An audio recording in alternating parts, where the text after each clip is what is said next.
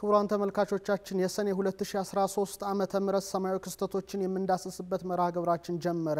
ከሰኔ 1 እስከ 30 2013 ወይም ከ June 8 እስከ July 7 2021 የወሩን ስነ ፈለክ ክስተት እንዳስሳለን። በተለይ ስለ ጨረቃ መሙላትና መጉደል እንዲሁም supermoon፣ ስለ ፀሐይ፣ ስለ ግርዶሽ፣ ስለ meteor shower፣ ስለ ፕላኔቶች፣ የሰማያዊ አካላት በጣም ተቀራርቦ መገኘት፣ conjunction፣ ከፀሐይ ተቃራኒ አቅጣጫ መገኘት፣ opposition፣ በአንድ ሰማያዊ አካል ተከልሎ መደበቅ፣ occultation፣ ስለ ፍኖተ ሐሊብ፣ እኩሌ ወይም equinox፣ መሬት ሆነን ስናይ በፕላኔቶችና በፀሐይ መካከል ያለው angle elongation፣ solstice ና የመሳሰሉት የሚታዩበትን ጊዜ እንጠቁማለን።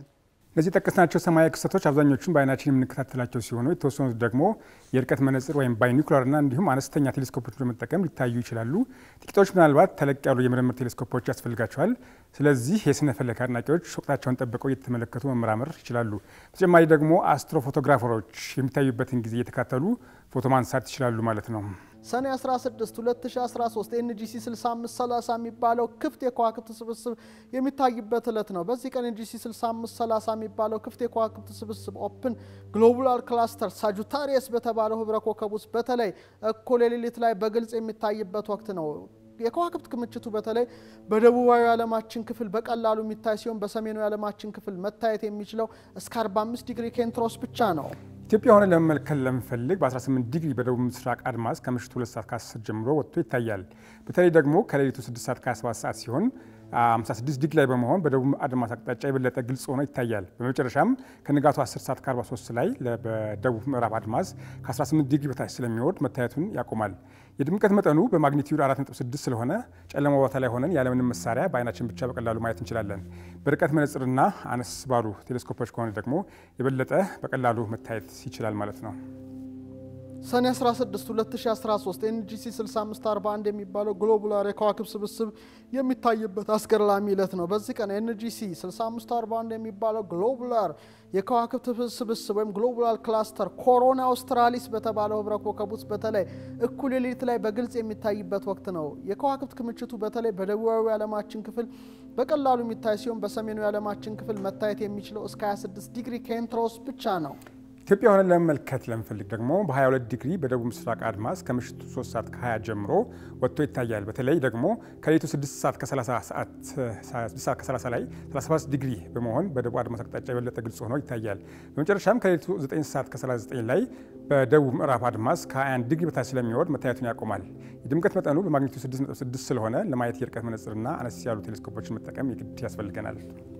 ሰኔ 17 ጨረቃ ሙሉና supermoon ትሆናለች። በዚህ ዕለት መሬት በጨረቃና በፀሐይ መካከል የምትሆንበት ወቅት ሲሆን በተለይ ከምሽቱ 3 ሰዓት ከ40 አካባቢ ጨረቃ ወደኛ የዞረው ሰሌዳዋ ሙሉ ለሙሉ የፀሐይ ብርሃን አርፎበት የሚገኝበት ቅጽበት ሲሆን ክስተቱን ማየት የምንችለው ግን ምሽት ላይ ነው። የዚህ ዕለት ሙሉ ጨረቃ የሚከሰተው ጨረቃ ለመሬት በምትቀርብበት perigee በሚባለው ርቀት ላይ ሆና ስለሚሆን ከወትሮ ደመቅና ተለቅ ብላ ትታያለች።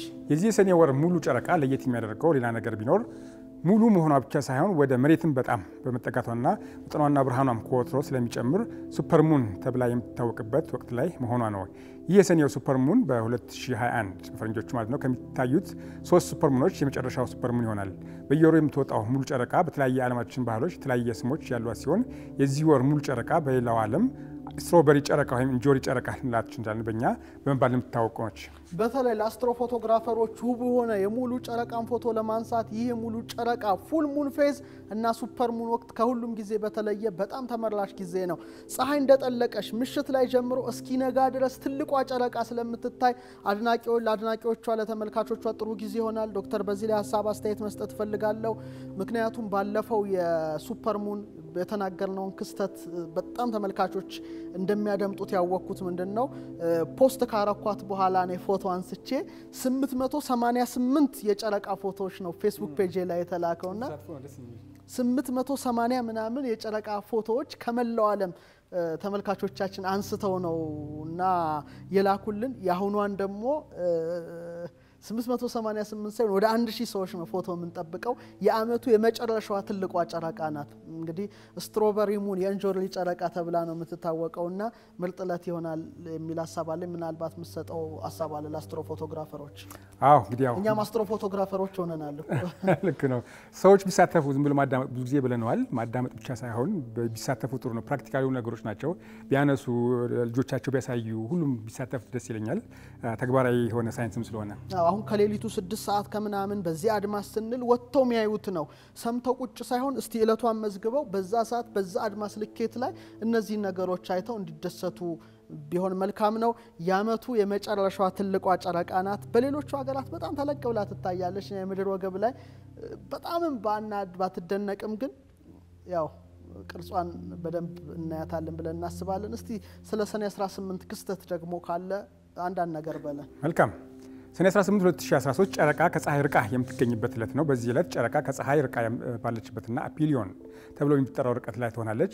ይህ ዕለት ማለት ጨረቃ ሙሉ የምትሆንበት እንዲሁም መሬት መሀል ላይ ሆና ጨረቃና ፀሐይ ከመሬት ተቃራኒ አቅጣጫ ላይ የሚሆንበት ጊዜ ማለት ነው። በዚህ ዕለት ጨረቃ ከፀሐይ 1.019 astronomical አሃድ እንዲሁም መሬት ደግሞ 1.017 astronomical አሃድ ርቀት ላይ ይሆናሉ። በዚህ ሁኔታ ላይ ያለች ጨረቃ ከመሬት የሚኖራት ርቀት ደግሞ 362000 ኪሎ ሜትር ይሆናል። ሰኔ 18 2013 ኔፕቲዩን ከተለመደው የጉዞ አቅጣጫ በተቃራኒ መጓዝ የሚጀምርበት ዕለት ነው። በዚህ ዕለት ኔፕቲዩን ከተለመደውና ወደ ምስራቅ አቅጣጫ የሚያደርገውን ጉዞ በማቆም ወደ ምዕራብ አቅጣጫ መጓዝ ይጀምራል። ይህ ተቃራኒ የሆነ ወደ ምዕራብ የሚሄድ የፕላኔቶች ጉዞ retrograde እንቅስቃሴ በመባልም ይታወቃል። ይህ ሁኔታ ለማጥናት ከፈለግን ኔፕቲዩንን ከሌሊቱ 5 ሰዓት ከ49 ጀምሮ እስከ 74 ዲግሪ ድረስ በመምጣት በደቡብ ምስራቅ አድማስ ላይ የሚታይ ሲሆን በመጨረሻም ንጋት 11 14 ላይ መታየትን ያቆማል። ሰኔ 20 2013 የጨረቃና የሳተርን ግጥጥሞሽ ወይም conjunction ይሆናል። እንግዲህ በዚህ ዕለት ጨረቃና ሳተርን በአራት ዲግሪ ተጠጋግተው የሚታዩበት ወቅት ነው። በዚህ ዕለት ጨረቃ ከተወለደች 17ኛ ቀኗ ላይ የምትሆን ሲሆን ድምቀቷ ደግሞ በ negative 126 magnitude ላይ ሳተርን ደግሞ 0.3 ይህም negative ነው magnitude ድምቀት ላይ ሆነው ሁለቱም በጀዲ ወይም የፍየል ጠቦት ወይም ካፕሪኮርነስ ህብረ ኮከብ ውስጥ ይታያሉ። ሁለቱን ሰማያዊ አካላት ያለምንም መሳሪያ በአይን ብቻ ማየት የሚቻል ሲሆን የርቀት መነጽር ወይም binocular በመጠቀምም መመልከት ይቻላል። ከኢትዮጵያ ሆነን ማየት ስንፈልግ የሁለቱ አካላት ጥምርታ ሌሊት ላይ በተለይ ከሌሊቱ 9 ሰዓት ከ05 ሰዓት ሲሆን በደቡብ አድማስ ውስጥ 63 ዲግሪ ከፍታ ወይም altitude ላይ ይሆናል። በመጨረሻም ከንጋቱ 11 ከ55 ላይ ከአድማስ 39 ዲግሪ ላይ እንዳሉ በደቡብ ምዕራብ አድማስ ከእይታ ይሰወራሉ። ሰኔ 20 2013 ቡቲጅ meteor shower ይታያል። የቡቲጅ meteor shower በየዓመቱ ከሰኔ 15 እስከ ሰኔ 25 የሚታይ ክስተት ሲሆን ዋናውና በብዛት የሚታይበት ቀን ግን ሰኔ 20 ምሽት 3 ሰዓት ላይ ይሆናል። በዚህ ጊዜ ውስጥ እነዚህን የ meteor shower ኦች ከአድማስ በላይ ግልጽ በሆነ ሁኔታ በቡትስ ህብረ ኮከብ አቅጣጫ ሲወርዱ ማየት ይቻላል። ኢትዮጵያ ውስጥ ለምሳሌ ከአዲስ አበባ በተጠቀሱት ቀናት ውስጥ እንደመሸ ጀምሮ እስከ ሌሊቱ 9 ሰዓት ከ42 ድረስ ይታያል። በዚህ ዕለት ጨረቃ በካፕሪኮርነስ ህብረ ኮከብ ውስጥ የምትሆን ሲሆን ከሙሉ ጨረቃነት የሶስት ቀን ብቻ ያለፈ ስለሆነ ብርሃኗ ሜቴዎሮችን እንደ ልብ እንዳይታዩ ሊያደርጋቸው ይችላል። ሰኔ 21 2013 የጨረቃና የጁፒተር ግጥጥሞሽ ወይም conjunction ይከሰታል። በዚህ ዕለት ጨረቃና ጁፒተር በ4.5 ዲግሪ ተጠጋግተው የሚታዩበት ወቅት ነው። በዚህ ዕለት ጨረቃ ከተወለደች 18ኛ ቀኗ ላይ የምትሆን ሲሆን ድምቀቷ ደግሞ በ negative 12.4 magnitude ላይ፣ ጁፒተር ደግሞ በ negative 2.7 magnitude ድምቀት ላይ ሆነው ሁለቱም በደለዊ ወይም ውሃ ቀጂው ወይም አኳሪየስ ህብረ ኮከብ ውስጥ ይታያሉ። ሁለቱን ሰማያዊ አካላት ያለምንም መሳሪያ በአይን ብቻ ማየት የሚቻል ሲሆን የርቀት መነጽር ወይም binocular በመጠቀም መመልከት ይቻላል። ኢትዮጵያ ሆነን ማየት ስንፈልግ የሁለቱ አካላት ጥምርታ በተለይ ከሌሊቱ 10 ሰዓት ከ19 ሰዓት ጀምሮ ከምስራቅ አድማስ አንጻር 69 ዲግሪ ከፍታ ወይም አልቲቲዩድ ላይ የሚታይ ይሆናል። በመጨረሻም ከንጋቱ 11 ከ55 ሰዓት በደቡብ ምዕራብ አድማስ ከእይታ ይሰወራሉ።